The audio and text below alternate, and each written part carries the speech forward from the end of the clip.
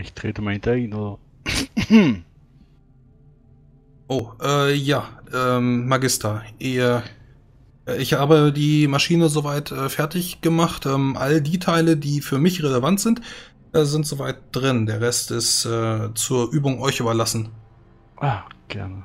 Aber mir, ich bring schon mal das Zeug weg. Kümmer du dich um, um, um die Sachen und den Kleinen und ich bin gleich wieder bei dir. Wunderbar.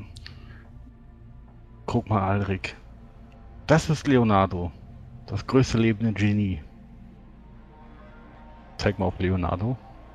Ist das, ist das der mit den, mit den Flugmaschinen? Genau der. Guck mal, was er, was er gebaut hat. Trete mal näher ran. Nimm ihn weiter bei der Hand. Du merkst, wie eine unbekannte Kraft von dir Besitz ergreift. Und du spürst, wie du wohl Maschinenteile einsetzen möchtest, wie du in einen Konstruktionswahn gerätst. Guck einmal, Alrik, hier. Das gehört dahin. Greif mal so einen, so einen Kristall und dreh die an eine ganz, ganz bestimmte Stelle. Dreh ihn um 90 Grad nach rechts. Siehst du? So geht das.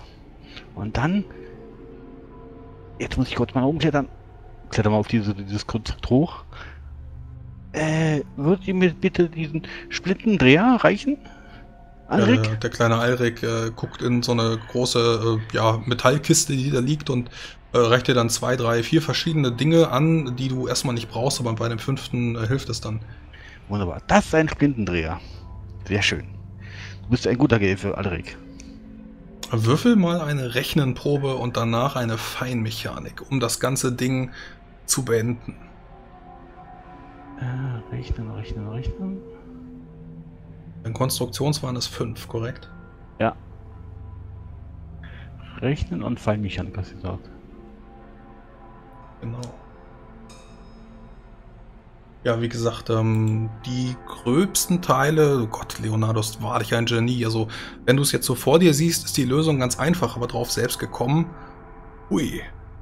Währenddessen unten in den Gewölben. Ömer sieht vor sich viele verschiedene Türen, die abzweigen und nachdem du dann äh, ja, in einen der Geschosse gelugt hast, kannst du dort sehen, wie die drei Sonnenlegionäre stehen vor einer großen Kammer. Alles zum Große. Bei ist im Groß kein Schritt weiter. Natürlich. Und immer bleibt stehen und äh, kramt in seinem Ärmel und zieht ein Schreiben heraus. Ein Schreiben vom Marschall persönlich, aber ein wichtiges Artefakt, was in die Kammern muss. Und reicht ihm das Schreiben rüber.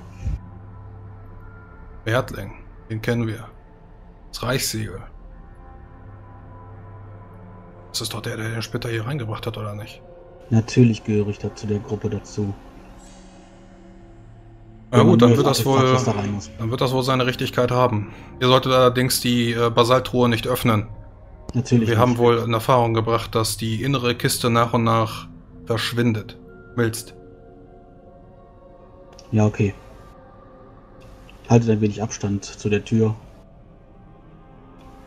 Am Ende des Gangs reicht vollkommen. Los, aufmachen. Jawohl, hier sind die Schlüssel. Passt auf. Ja, passt auf. Und damit äh, treten sie von der Tür beiseite und stellen sich dann an die große Treppe, die du eben runtergestiegen bist. Ja, immer schließt auf, macht die Tür auf, lehnt die Tür wieder sanft an, aber macht sie nicht zu und hat den Schlüssel natürlich dabei. Und äh, tritt zu der Basalttruhe und legt mal die Hand drauf, fühlt mal nach, ob die schon warm geworden ist. Mhm, sie ist warm und vibriert. Ja, schüttelt den Kopf. Du wirst wieder das Ruf. Das ist nicht gut, das ist nicht gut. Wenn dieser Spitze sich hier durchbrennt, wer weiß, ob er sich durch den Boden brennt und dann wie in die Kanalisation rutscht und irgendwelchen Leuten. Du könntest Garat wieder aufbauen. Nein, nein, nein, das kann nicht sein. Immer atmet schwer aus und laut. Ich muss seine Aufgabe erfüllen. Du siehst dich wieder, wie du in der Festung stehst. Ich tu Gutes, ich versprech's. Kann diese Stadt wieder aufbauen. Aber Jalans Worte waren eindeutig. Es geht nicht, es darf nicht. Ein Finger schnippen.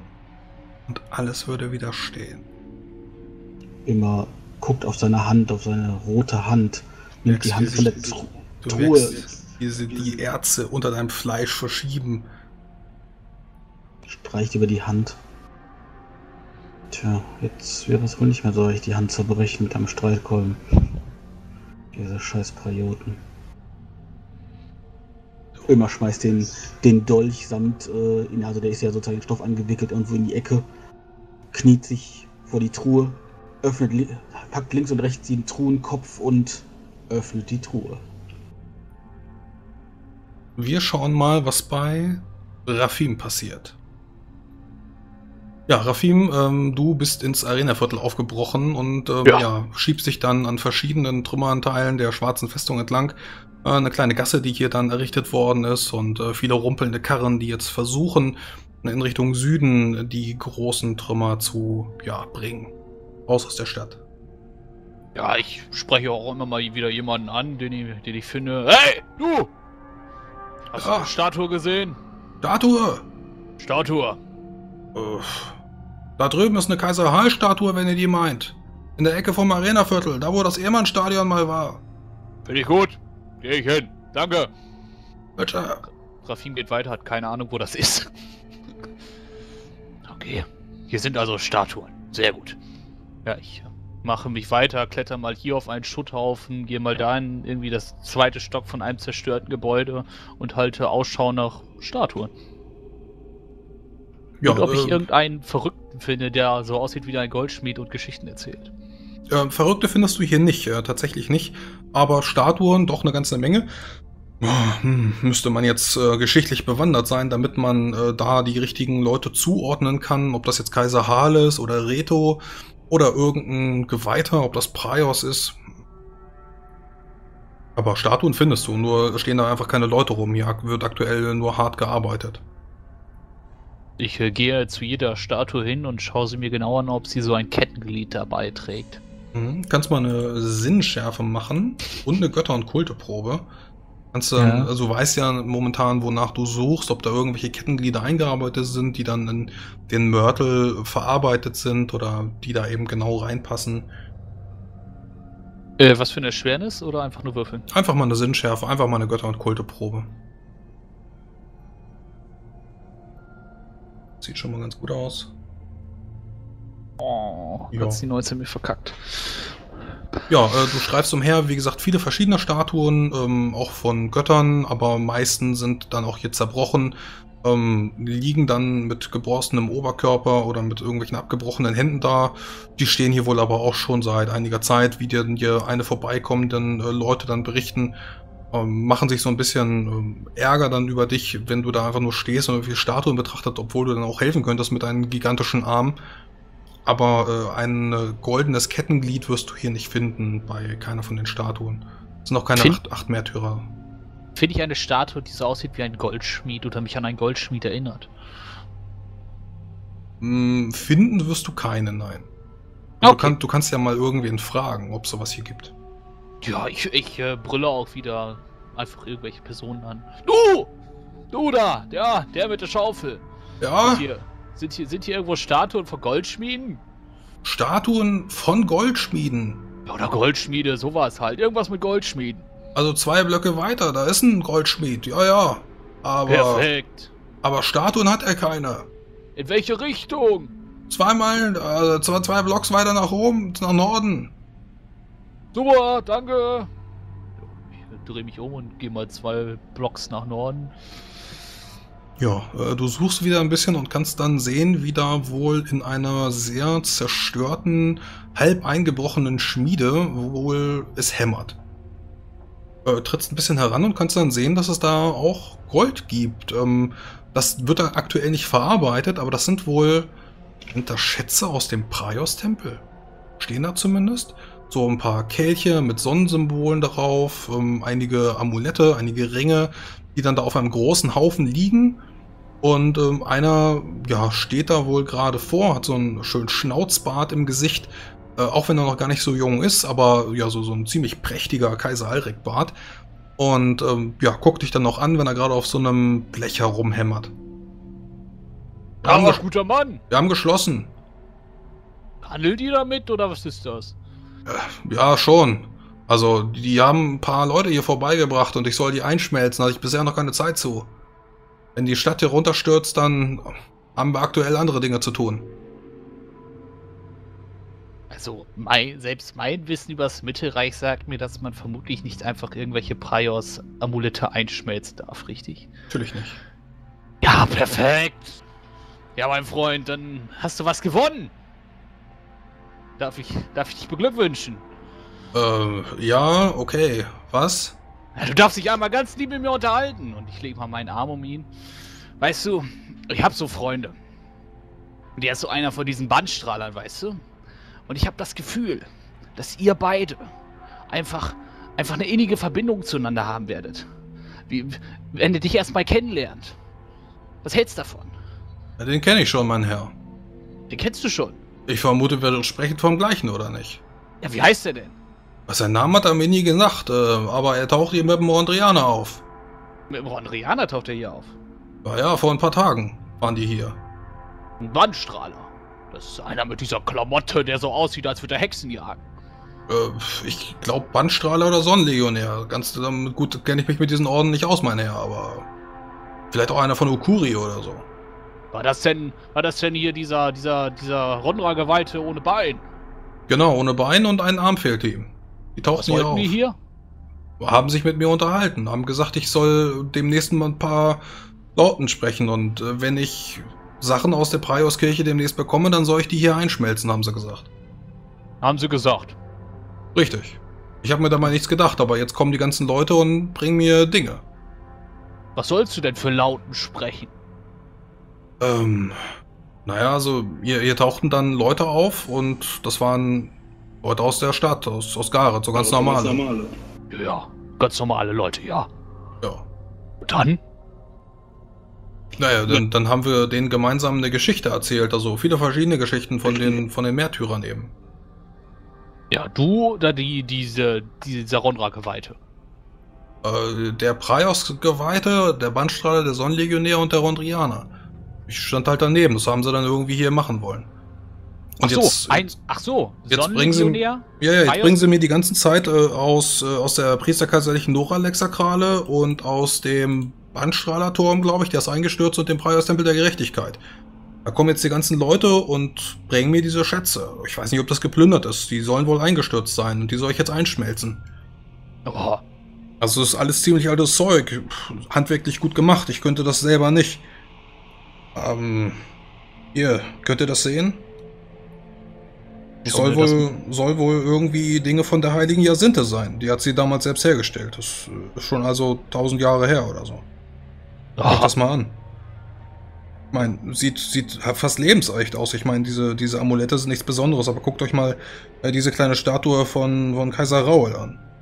Ich habe keine Ahnung, wie Kaiser Raoul aussieht, deswegen Naja, aber mir das nicht. ich, ich meine, ist ein bisschen kleiner als sonst, aber lebensecht sieht er aus. Ich meine, ihr könnt sogar sehen, wie er grinst. An. Also, wenn ich dich richtig verstanden habe, dann war hier ein Sonnenlegionär, ein Praios-Geweihter und ein Rondra-Geweihter, richtig? Nee, also der, der Praios-Geweihte ist der Sonnenlegionär, ist der Bandstrahl, Ah, wie gesagt. Und okay. also ein, einer von Praios und einer von Rondra. Wie Und heißen die? die haben sich nie vorgestellt. Ach, das kann ich mir nicht vorstellen. Die sind hier einfach hingekommen und haben angefangen zu reden. Die haben Ja. doch bestimmt gesagt, ich bin Priodan von irgendwas, oder nicht? Nee, Nee. waren namenlos. Namenlos waren die. Ja. Ach, jeder hat doch einen Namen. Also wirklich. Ja, aber haben sie mir nicht genannt. Wer bin ich, dass ich einen Sonnenlegionär auffordere, dass er sich äh, mir vorstellt? Hast du auch wieder recht. Ihr müsst hast wissen, ich, ich bin zwar ein Goldschmied, aber eigentlich auch ganz gut in der Historie bewandert. Der Historie. Oh, Ja, ja. Edel. Naja, ich, ich habe mir einfach die Frage gestellt, seit wann gibt's Gareth? Wisst ihr das? Keine Ahnung, seitdem der erst hier seine scheiß Hütte hingebaut hat, würde ich sagen. Naja, aber wann war das? Äh, Ich sag's euch. So Bosbaran? Ich sag's euch, ja, ja, genau. Also 880 vor Bosbarans Fall. Das ist also schon 1800 Jahre her. Vor 1800 Jahren hat äh, der erste Bub hier äh, zwischen Gardel und Würselbach hat hier seine, seine erste Hütte hingestellt. Das war damals noch ein riesiger Wald. Ihr diese Geografie hier? Also, hier gibt's keine Berge oder so. Nichts. Naja, hier, da, da vorne ist, ist Wald und irgendwo hier ist auch ein Fluss, aber ich weiß nicht genau, wo der Fluss lag. Ja, ja, genau. So, aber passt mal auf. Was ich mich damals fragte, wie gesagt, ich bin ähm, Hobbyhistoriker, möchte ich meinen. Ja Aber Goldschmied vom Beruf. Ja. So, und jetzt ist es hier ein riesiger Wald, ohne irgendwelche Berge drumherum. 880 und ungefähr 200 Jahre später wird aus einer kleinen Siedlung eine Stadt aus Gold, die höher ist als die Türme von Bosbaran. Gigantisch, gewaltig, alles aus Gold, funkelnd und glänzend. Obwohl hier kein einziger Berg ist, aus dem man Gold schürfen könnte. Naja, man kann ja auch in den Boden graben. Das ist, glaube ich, auch Gold. Also, ich verstehe nicht so viel davon, aber man gräbt doch in den Boden, oder nicht? In den Berg hinein, genau. Aber hier gibt's Ach, keine in den Berge. Berg? Oh, keine Ahnung. Ich stehe immer nur draußen, wenn die Sklaven das machen. Ihr solltet euch mal überlegen, woher das ganze Gold kommt. Ich habe keine Ahnung. Ich kann mir das nicht erklären. Habt ihr keine anderen Sorgen, sag mal? Also wirklich, ihr gar deswegen ist euer Mittelreich auch so am Arsch, weil ihr immer alle nur über irgendwelche Scheiße nachdenkt, anstatt mal was Vernünftiges zu machen. So, mein Freund. Aber wir beide haben jetzt noch ein, haben jetzt noch eine Verabredung. Ich mach mal mein Beutelchen auf und kipp mal die ganzen Preier-Sachen da rein. Ja, das nehme ich mit, das nehme ich mit. Das sieht auch schön aus. Ja, ja. So, Macht, was ihr wollt. Ich soll jetzt mitkommen, ja? ja. Ja, Er legt seinen Hammer beiseite, legt auf das Blech und äh, guckt dich an. Dann, dann da mal los. Wie heißt du denn überhaupt? Äh, ich, Leo. Reo. Finde ich einen guten Namen. Du? Rafim. Bisse. Dann bist du Doch, jetzt nicht mehr namenlos. Diese, kommst du, Reo. Ja, und so Ja. gehst du auch in Richtung Norden. Mit meinem neuen Freund. Dann können Yalan, Isarun und Kiaras, ja, nachdem ihr euch ein bisschen ähm, durch das Viertel gekämpft habt, ähm, ja, kurz vor Wallgraben, könnt ihr an der Stadtmauer ein altes windschiefes Haus erkennen. Isarun schaut nochmal auf die Karte, die sie mitbekommen hat von Answin von Werheim. Hm, das muss es sein. Nur noch ein paar Mauerreste von der Villa, die stehen, Efeu umrankt. Aber das Oh. muss das Haus sein. Zumindest steht da noch ein Namensschild von Streitzig dran. Auch wenn es sehr verwittert ist. Nun, Ja, also sieht- wenn mich nicht alles täuscht, muss das denn die Villa sein, wo die Dame damals gewohnt hat. Es sieht hinreichend verfallen aus. Dafür, dass die Dame wohl länger nicht mehr hier wohnt. Nun, gehen wir rein und warten noch nicht hier draußen. Komisch, das ist doch so ein Premium-Grundstück. Warum lässt man das denn einfach so verfallen? Vielleicht haben die Erben sich einfach nicht gekümmert. Na, Oder wer einfach weiß. Besitzurkunde ist verloren gegangen und niemand traut sich. Auch möglich. Es kann sein, dass irgendeine Familie von Streitzig dieses Grundstück gehabt hat und weiß es einfach nicht mehr. Und sie zahlen jedes Jahr die Grundsteuer und wissen gar nicht mehr wofür eigentlich. In den großen, ähm, großen Baronien geht so etwas schon mal unter. Gerade wenn der Lehnsvogt nicht ganz beisammen ist. Ja, treten wir ein. Ja, ich weiß nicht, ob die Tür verschlossen ist, aber gleich ist sie es nicht mehr. Ja, äh, du versuchst den äh, Hebel runterzudrücken, merkst du, wie von innen ein Riegel vorgelegt ist. Das ist jetzt natürlich gegentreten, aber äh, nach äh, einigen Fußtritten von dir kannst du dann auch sehen, wie da wohl ein paar Fenster geöffnet werden um dich herum. Und da irgendwelche Leute noch in ihren, ähm, ja, der, der Norden hat ja nicht so ganz gelitten. Ähm, kannst du sehen, wie da so das ein oder andere Mütterchen mal rausschaut, äh, empört mal mit dem Kopf schüttelt und nach dem fünften Fußtritt fliegt dann die Tür auf, springt auf der Innenseite gegen einen, ja, Du stehst dann wohl in sowas wie einer staubigen Küche, möchtest du meinen. Direkt vor dir so ein Tisch, Kochnische, Kochstelle. Nun, dann sehen wir uns mal um. Ähm, ich blicke Ja, mal, auf jeden mich mal Fall kurz um. Gibt es eine, gibt's eine Treppe oder eine Leiter nach oben oder nach unten? Ähm, ja, sowohl nach oben als auch nach unten, wenn ihr euch ein bisschen umschaut, ähm, ist wie gesagt eine kleinere Villa. Definitiv aus der, ja, okurianischer Stil, möchtest du meinen. Und damals zur priesterkaiserlichen Zeit äh, damals sehr oft benutzt. Wir scheinen am richtigen Ort zu sein. Ich würde sagen, jeder nimmt sich eine Etage vor. In Ordnung. Nun, äh, so gerne ich auch sage, dass es keine gute Idee ist, sich zu trennen. Ich denke nicht, dass hier irgendetwas ist, also ja, es sollte schneller gehen. Und selbst wenn, dann schreien wir einfach laut. Carino, wenn ihr wollt, gehe ich gerne mit euch in den dunklen Keller, aber wir sollten uns ranhalten. Ja, vielleicht ein andermal.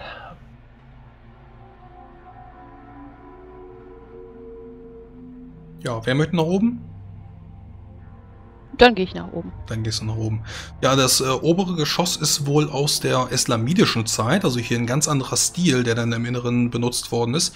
Ist wohl also draufgebaut worden, viele hundert Jahre später, war zur Zeit der Islamiden eben. Hm, viele verstaubte Betten, vielleicht dann auch von irgendwelchen Würmern zerfressen, möchtest dich wohl nicht drauflegen, äh, Holzwürmer, die da äh, in, den, äh, in den Betten wohnen, in den Schränken, alles verlassen. Die Streizig haben natürlich große Familie, aber so eine Villa dann verkommen lassen ist eigentlich nicht so der Stil.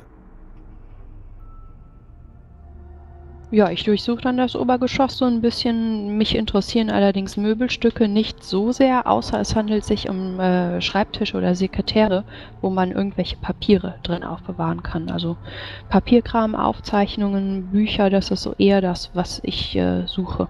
Mhm. Ja, also das Ganze ist verlassen. Du kannst auch einen Kamin sehen, der entspringt, nicht diesem Stock, aber du kannst sehen, wie er dann eben ähm, so, eine, so eine weitere Abzugsklappe hier hat, sodass man da dann äh, Dinge dann auch verbrennen könnte. Und tatsächlich siehst du da auch dann äh, verkohlte schwarze Pergamente, die vor langer Zeit mal reingeworfen sind. Und wenn du sie jetzt anfährst, dann würden sie sofort zerfallen. Der Schreibtisch ist leer, noch einige Zettel und Blätter, die da irgendwie rumfliegen, alte aventurische Boten, die da vergilbt und gelb liegen. Aber ansonsten ist das Ganze aufgegeben und verlassen, also wirklich nichts von Interesse. Gut, wenn ich da nichts Interessantes finde, mache ich nochmal die Klappe vom Kamin aus und ruf runter Huhu. Knall die Klappe wieder zu. Dann gehe ich die Treppe runter. Ja. In der mittleren Etage kann derjenige, der dort herumwühlt, ebenso nichts finden, aber wenn ihr die Treppe nach unten geht, könnt ihr dort ähm, durch eine ja, Tür aus Steineiche gehen und steht dann in einer Katakombe. Vor euch könnt ihr hm, einen Steinsarg erblicken und eine Statue. Aber wer hat bitte sein eigenes Grab im Keller? Das ist. Naja. Ich möchte den Sarg doch einmal genau untersuchen, ob da eine Inschrift drauf ist. Ich Ja. nehme mir die Statue vor. Ja, genau, könnt ihr euch dann allesamt zusammenrufen. Kiaras ruft dann einmal, sodass auch Jalen und äh, Isarun nach unten treten. Und ähm, Kiaras findet die Einschrift 40 Murak. Wenn du mehr zu 40 Murak wissen willst, brauche ich von dir bitte eine Geschichtskenntnis. Und Isarun entdeckt, dass es sich bei dieser Statue wohl um den heiligen Lucian handelt. Den blinden Totengräber. Alt, blind. Und die Raben, die ihm das Fleisch zwischen den Fingern wegpicken.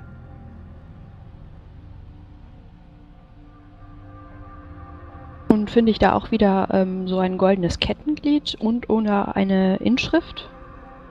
Noch nicht. Seht ihr irgendwas?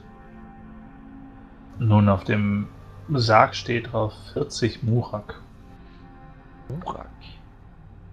Murak? Kennt keinen Kaiser Murak. Kennst du einen?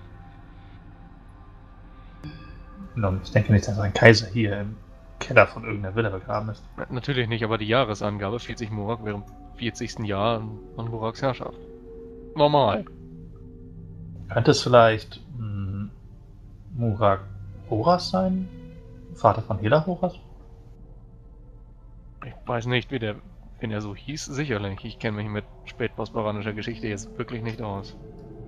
Ah, ich hatte da eine, eine Unterrichtsstunde. Ich bin mir nicht sicher. Das war irgendwann kurz vor Barbarats Fall. 20, 19, 18, irgendwie um den Dreh. Und dann, dann steht dieser Sarg schon lange hier. Offensichtlich. Steht ja noch drauf, wer begraben ist?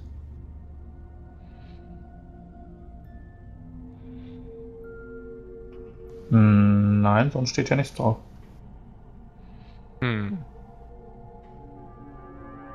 Bin halb geneigt, ihn zu öffnen, aber vielleicht sollten wir Bruder Stüngo mal konsultieren. Wir wollen uns schließlich nicht Borans Zorn zuziehen. Natürlich nicht. Obwohl ich mir denke, wenn dieser Sarg wirklich fast über 1000 Jahre alt ist, dann ist alles da drin schon zu Staub zerfallen.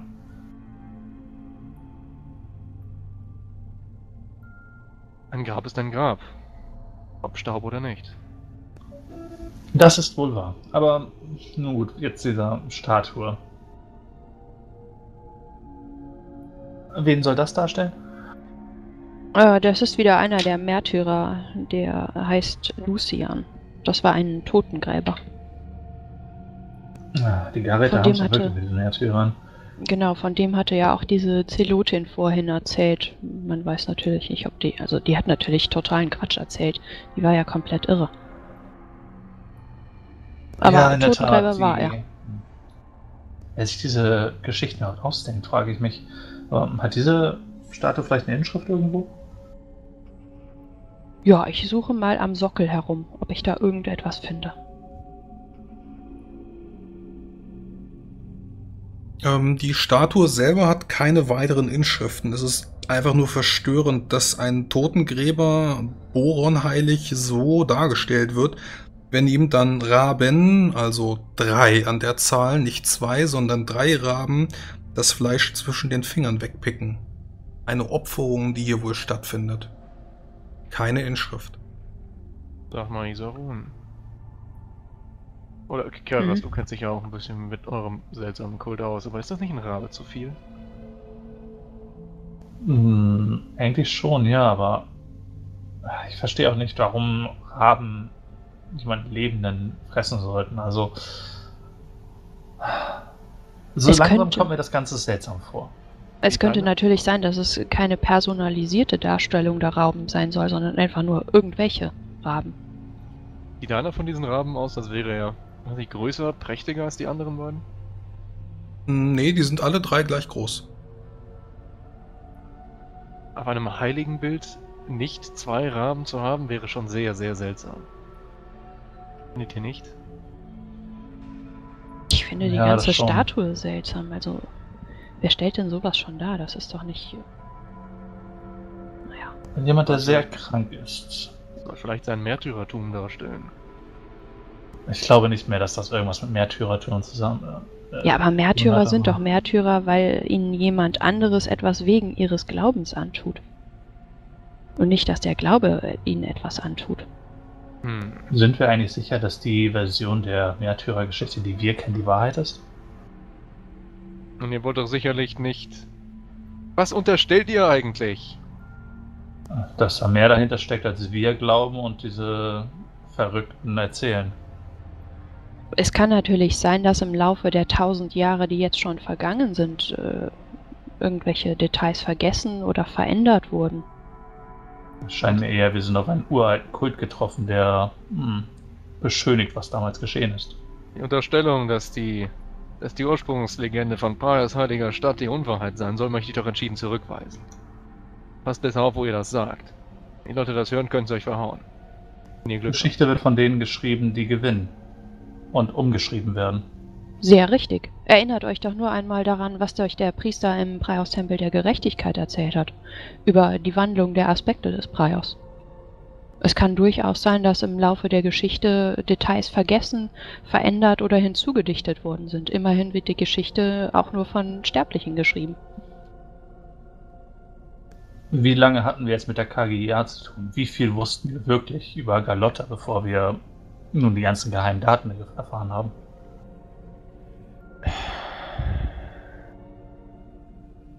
Vielleicht ist es auch einfach nur so, dass die Künstlerin eine schwer gestörte Person war. Wobei ich das natürlich nicht hoffen möchte. War sie doch eine Vertraute dieses Praios Lob von Seelem. Das Lob von Selem. Hm.